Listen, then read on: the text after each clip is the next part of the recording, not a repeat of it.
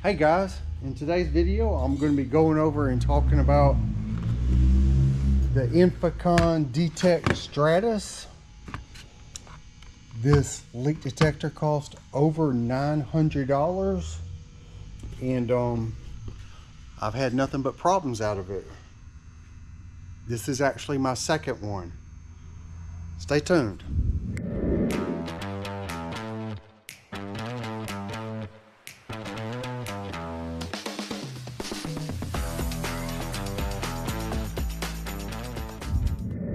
Okay, so my first Stratus I had, it had um the sensor failed on it before the first charge on the battery could complete.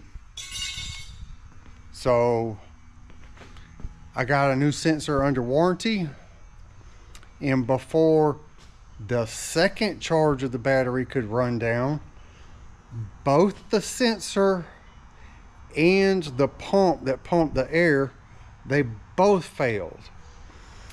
So sent it back, got a whole new leak detector from Inficon. And here I am on the first charge of the battery and it either won't pick up a leak or it just picks up something constantly when there's nothing there and I can't I don't have the ability to zero it. So I'm gonna try to go over here and see if it'll do it again on camera and then I think I'm gonna show you how to fix it.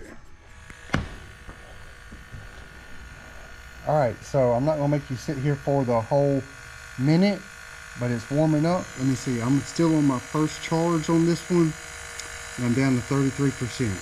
Let's see if it does it again all right i got it to warm up. This is this is a test vial. It's got a tiny little hole in the top. As you see it's not picking up anything and i've got it on super. Let me go to parts per million. Oh now i'm picking up something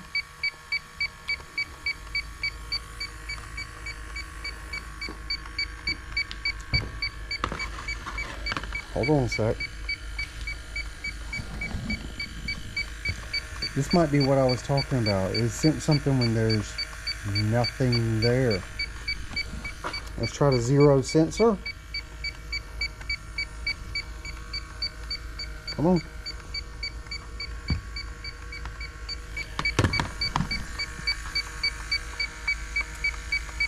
I cannot zero the sensor.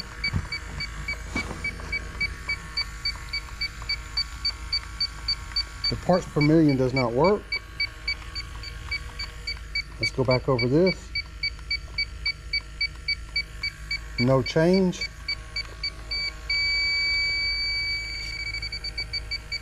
All right, we're back on super. Nothing. I'm gonna leave that over here. This is what I bought. I've had some in the past and they have been dependable.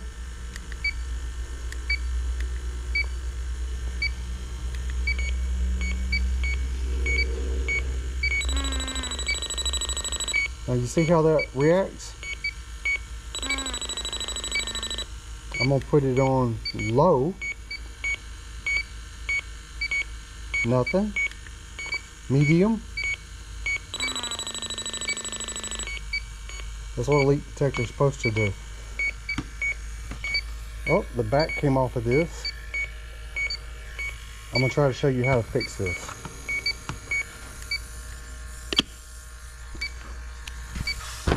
Alright, so I'm to leave it on and um, everything's pushed in like it's supposed to be. And we're to start by, I got to get a little screwdriver here we go.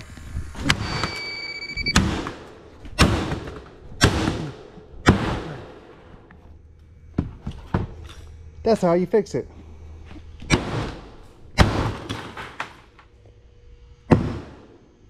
Ya basta.